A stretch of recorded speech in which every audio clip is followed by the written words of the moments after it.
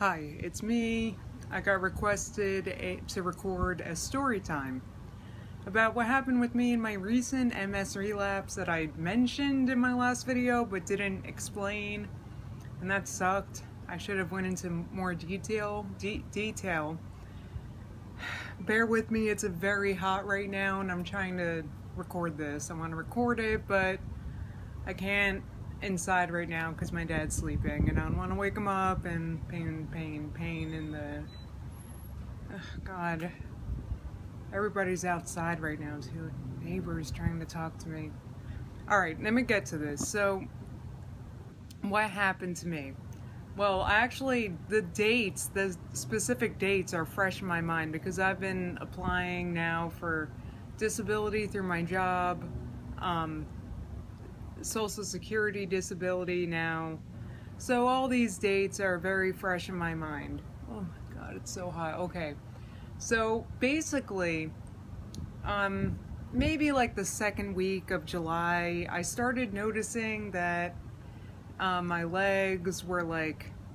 See, I've been having problems with the spasticity um, for the past uh, year, couple years, and I've been taking medication for it, managing it, but I noticed my legs were giving me a lot of heck, and I didn't know if it was because, I mean, it's been a very hot summer here in New Jersey, um, and I didn't know if it was related to that or whatever, but basically, I needed to go to the doctor, my primary care doctor, to get a referral to see my neurologist in a few weeks and I had to go for something. Oh yeah, my sister also had to go for some something else. So me and my sister both went to my primary care doctor, which is like a clinic, like an urgent care kind of clinic, and we went and um, oh yeah, because I was having these MSE problems,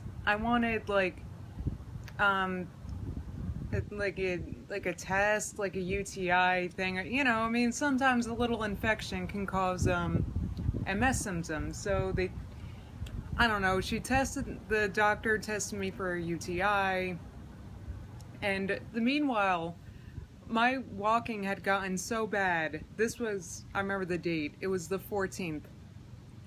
And it had gotten so bad, my sister had to kind of help me around, and um, I mean, literally, like I was kind of using her as a cane and um, leaning on her. I couldn't walk without her, basically. So the primary care doctor was like, hey, you should see your neurologist like as soon as possible. And it was the type of thing that I feel like happened very suddenly. I mean, yes, I was having problems. Oh, it's so hot. Anyway, I was having problems, but it wasn't I don't know. It just I feel like it just happened. Like that day, the 14th, it was it like hit me like a ton of bricks. All of a sudden, I could barely walk. Actually, I could barely stand. I could barely get out of my sister's car. It had gotten that bad that quickly. So I called my neurologist's office. I was able to see him on the 18th.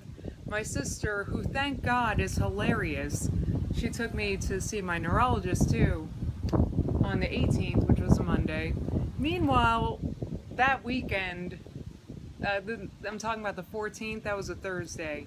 I had work the 15th, 16th, 17th, you know, that whole weekend. I had work on Monday too, I think. And for a lot of that week because I I was needed for something. I think somebody was on vacation or something inconvenient like that.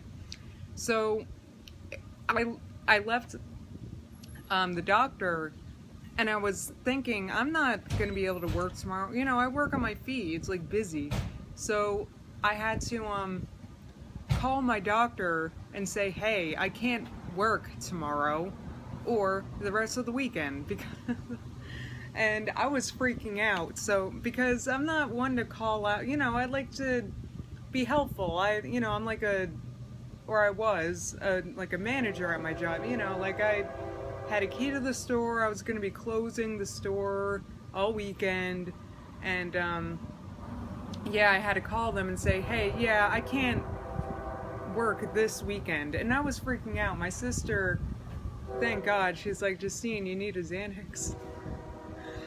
And she gave it to me, and right before I called my job, and I was like, how long does this take to work? And she's like, oh, like half an hour. And I was like, ah, I can't wait that long. So, I don't know, I was like freaking out. So, I, uh, this is so bad. This, this story time's bringing me back. Okay, this is probably going to be really shaky. I'm sorry. This is really dumb. It's just there's nowhere convenient for me to record this right now, and I need to re record this. Anyway, so I went to um my neurologist that Monday, the 18th, and my neurologist, he was like, okay, she needs steroids, she needs MRIs, she needs. Basically, he was like, this is going to take very long I had to go in a wheelchair. I, by this point, I was basically immobile. I was unable to walk any any distance really beyond maybe a few feet, and that few feet I needed help. So, um, yeah, my neurologist was like, yeah, she's got to be admitted, like to the hospital. I had to go to the hospital, and I proceeded to start freaking out. And by the way, that's like in my file or something now because I just had to call my neurologist's office for something else yesterday. And she was like, oh yeah, I have here, you went to the hospital on the 18th, you went kicking and screaming. I was reluctant because it seems like, I don't know, I'm used to doing that kind of stuff outpatient, but he deemed it necessary to go inpatient and I was like, Ugh. anyway, Plus, I was panicking about food because you guys know I, um, I don't eat meat or dairy or you know I'm vegan now. So I was like freaking out. Like, but I'm gonna go to this hospital. They're gonna give me like pancakes and chicken fingers, and I started crying in the neurologist's office. I was like, what am I gonna eat? And. And my neurologist was like, don't worry, they have really good food there. And I didn't believe him. I thought, yeah, it's probably really good if you eat like cheeseburgers Anyway, I got I got this big bowl of pasta with me right now. By the way, Ooh. so if I'm like distracting and eating my right now, forgive me. Anywho, so I went to the hospital. He thought it was going to be a, he wanted me to go be admitted through the emergency room. So, I go to the emergency room and I was there pretty much all day. Well, first of all, in between, like we went to we went to see my neurologist, then we knew I had to go to the hospital, but I was like, uh, can we go to Taco Bell? But it wasn't just because I was hungry. It was also because I knew I was going to be hungry, and who knew how long I was going to be in the ER for. You guys know how ERs are. Well, I don't know. Maybe it's different where you live, but around here, you go to the ER, you're gonna, it depends on when you're going or how busy it is, but you're probably gonna be sitting there a very long time.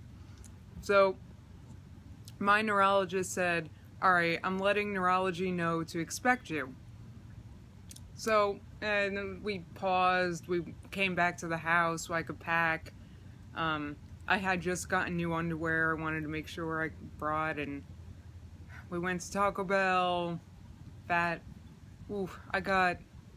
See, Taco Bell, let me sidetrack here. Taco Bell is very easy for me to eat what I want. You know, I, I get like bean burritos, just beans, no meat, no cheese, no. You know, I can make a vegan with guacamole and lettuce and tomato and I'm myself hungry. Anyway, so fat. We went to Taco Bell. I had burritos in my purse that I was eating the whole time, whatever. Anyway, so we're sitting in freaking the emergency room forever, waiting for um, neurology to come see me. And finally, neurology comes. And it was while my sister was trying to walk me to the bathroom. Mind you, I, I can still barely anything. I couldn't even I really needed to lean on my sister. I mean, I could not walk. So neurology comes and they see us, me, limping. And of course, okay, so there's the one neurologist attending, and then there's the, uh, you know, it's like a teaching hospital. So there was a, uh, what do you call it? Uh, intern. And of course, he was like McDreamy. Like, I'm talking, oh my god, this guy's like Grey's Anatomy. And then he's, oh my god. It was so bad because it was so good. And I was like, what? This is like the best looking guy I've ever seen, literally. And he's like giving me an exam, like touching my legs and stuff. And I'm like, oh my god, this is. This. Wow, this is. I, I don't know. I couldn't. That was. Ooh, and then what what made it bad was actually the whole time I was there, which was three day. I had a three day course of uh, steroids, Solu-Medrol, and while I was there, he saw me the whole time. I mean, like he would come with neurology. I basically saw him every day I was there. He would wave to me if he saw me down the hall, and it was like, oh my god I, I'm glad I didn't get his name or anything because I would have cyber stalked him so hard by now. Best looking guy I've ever met. Seriously, I couldn't believe it. I actually still think about him. I'm like, ooh, I wonder what McDreamy's doing. I wonder what rotation he's on now.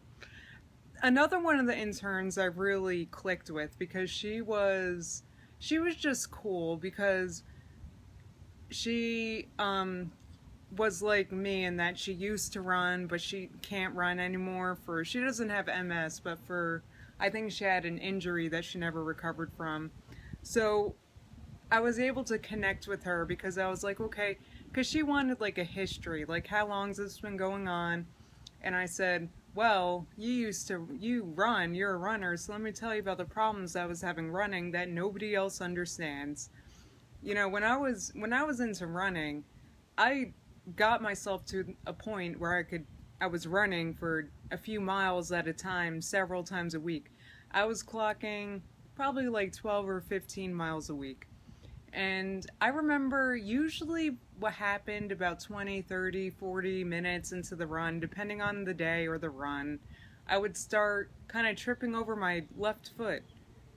And it was odd. And that was always what stopped me. It was never like I was running out of breath or I was tired or my legs hurt. Not to say that those things never happened, but always what ended up stopping my run was I would start tripping over my left foot.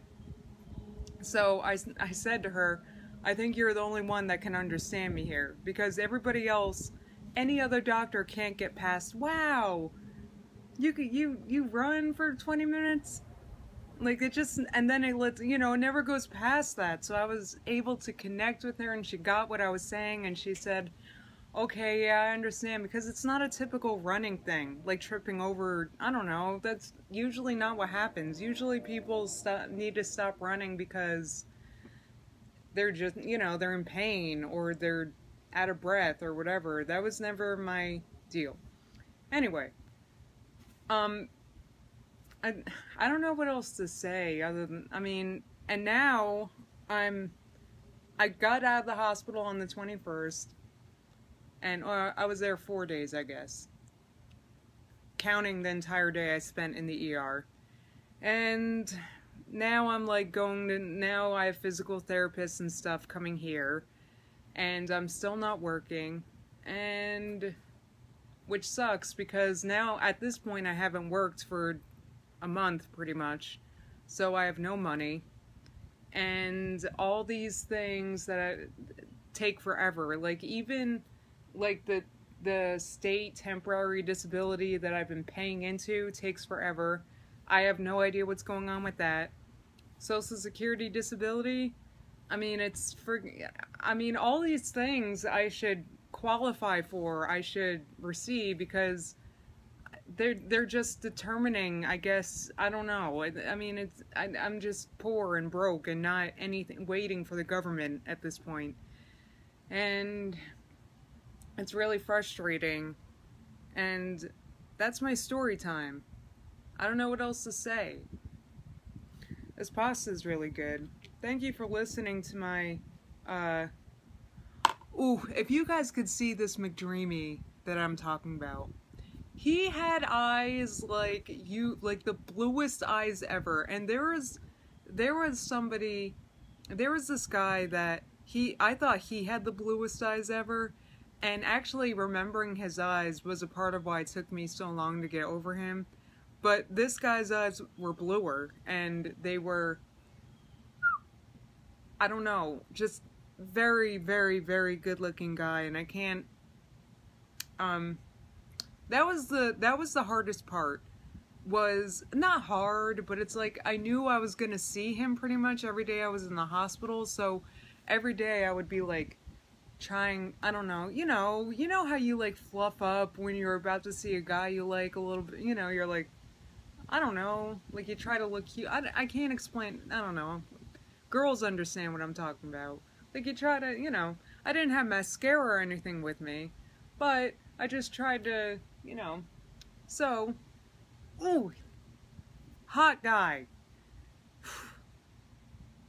Man, I'm glad I do not know. If I knew his name, I'd be looking at his Facebook profile right now, trying to work up the courage to add him. because he's just so good looking.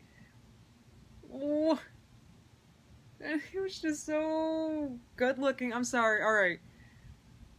Did I get to everything? I think I got to everything. If I'm forgetting anything, I don't know. I'll be answering comments, so thank you for following along with this long story time. And I'll be back. Bye.